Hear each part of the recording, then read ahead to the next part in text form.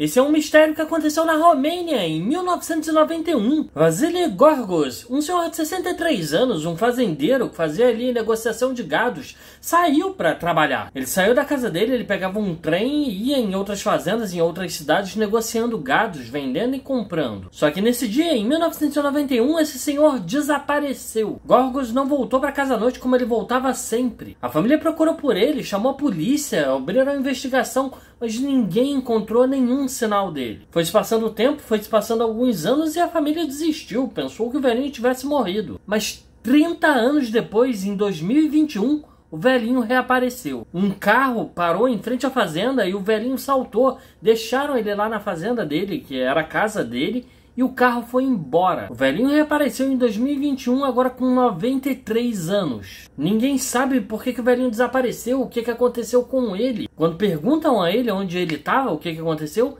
ele diz que estava em casa aquele tempo todo. Ele não se lembra de nada. Para ele só se passaram algumas horas. Ele estava na casa dele aquele tempo todo. Tem mais um mistério nessa história. O velhinho reapareceu com a mesma roupa que ele saiu de casa e desapareceu naquele dia 30 anos atrás. No bolso dele tinha um bilhete de trem daquele dia, 30 anos atrás. O velhinho não tinha nenhum sinal de violência ou maus tratos pelo corpo dele. Infelizmente, alguns meses depois ele morreu dormindo na cama dele.